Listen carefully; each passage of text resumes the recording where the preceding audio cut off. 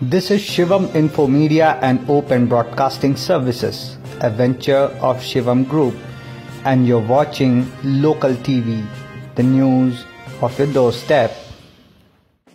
सुप्रभात दर्शकों स्वागत है आप सभी का आज के मुख्य समाचारों में आज की दिनांक है 13 सितंबर 2022 और मैं निशा लेकर आ गई हूँ कागज़ नगर की कुछ खास खबरें आइए देखते हैं हेडलाइंस सड़क पर भयानक गड्ढा। सौ रुपए में बुलेट गाड़ी। कच्चे रोड की ज़िम्मेदारी एमएलए साहब की, कहा बीएसपी ने। धीरे धीरे टूटने की कगार पर अंदवेली ब्रिज। तो आइए, अब देखते हैं फटाफट से खबरों को विस्तार से। ये देख रहे हैं आप, कितना गहरा गड्ढा है, कितना पानी जमा है यदि आप गाड़ी चला रहे हो या ये गड्ढा रास्ते में आपको समझ में ना आए तो आपका क्या होगा? लगभग घुटने तक पानी जमा हो जाए। इतना बड़ा गड्ढा है ये। अब क्या ही बताए आपको कि हमारे ज़िले में रास्तों की हालत किस कदर बिगड़ी है। ये दृश्य है आसिफाबाद से आदिलाबाद जाने वाली हाईवे का। माणिकगुड़ा गाँव के पास ये एक ब्रिज है, जिस पर कि इतना खतरनाक गड्ढा बन गया है। इसको ठीक करवाने के लिए कोई नहीं आ रहा। इसलिए भारतीय जनता पार्टी के नेताओं ने इस जगह पर ऐसे धरना प्रदर्शन किया।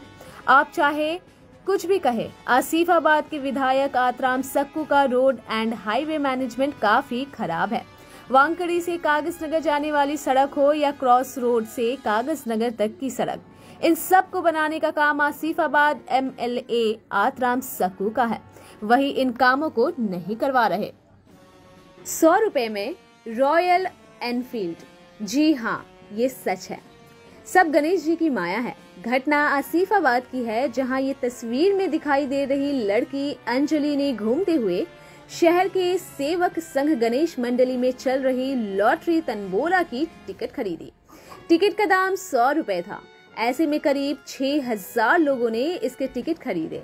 ग्रैंड प्राइज, रॉयल एनफील्ड थी और ये अंजलि को मिली। किस्मत अच्छी निकली अंजलि की। आज सुबह कागज़ नगर के पुराने चेक पोस्ट के पास स्थित गांधीनगर में बहुजन समाज पार्टी के नेता अरशद हुसैन पहुँचे। उन्होंने आरोप लगाया कि यहाँ बनाई गई मुरम मट्टी की रोड थर्ड क्लास क्वालिटी की है। इसे एमएलए साहब ने एक बेनामी कॉन्ट्रैक्टर के द्वारा बनवाया है। और ये सड़क इतनी बुरी तरह बना है कि इस पर आना जाना जानलेवा साबित हो रहा है। ढेर सारा कीचड़ जमा हो गया है, जिससे कि आए दिन बाइक स्लिप होकर दुर्घटनाग्रस्त हो रहे हैं। पैदल चलने वाले तक फिसल कर गिर रहे हैं और घायल हो रहे हैं। इससे जुड़ी एक प्रेस वार्ता हमने सुबह ही प्रसारित की थी। आप उसके लिंक डिस्क्रिप्शन में देख सकते हैं। वैसे तो अंधवेली की पेद्दावागु ब्रिज को यातायात के लिए बंद कर दिया गया है, लेकिन पैदल चलने वालों के लिए ये ब्रिज अब भी खुला है। आज पैदल चलने वाले एक व्यक्ति ने ये फ़ोटो भेजी है। अब ब्रिज टूटने की कगार पर आ गया है। देखिए कि ब्रिज कितना टूट गया है। ब्रिज के दो स्पैन के बीच दूरी बढ़ती जा रही है।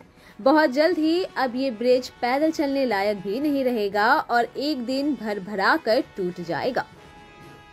दर्शकों, मिलेंगे आज शाम की खबरों के साथ। तब तक के लिए मैं निशा लेती हूँ। आप सबसे विदा। नमस्कार।